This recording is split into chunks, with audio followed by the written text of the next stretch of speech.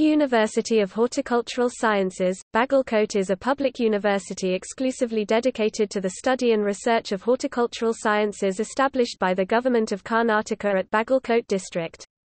Realizing the importance of horticulture and the need for research and development support for its further expansion, the University of Horticultural Sciences, Bagalkote was established by the Government of Karnataka through a special ordinance number 2 of 2008 on the 22nd of November 2008 and duly enacted by Karnataka Act number 11 of 2010 dated the 13th of May 2010.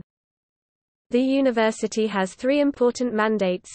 imparting quality education, conducting applied strategic and basic research in all branches of horticulture and allied disciplines, and conducting and facilitating transfer of technologies to the benefit of farming communities through effective extension education system and outreach programs.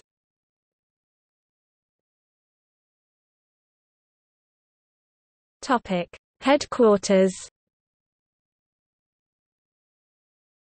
Bagalkote was chosen for its headquarters as the district is known for its rich horticultural production base of grapes, pomegranate, banana, guava, fig, lime, sapota, ber, vegetables, betel vine, coconut, spices, and medicinal plants.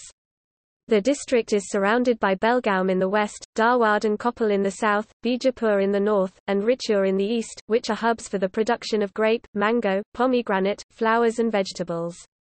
The area has a congenial climate for all kinds of crops besides its rich historical and cultural heritage making it an ideal place for the university.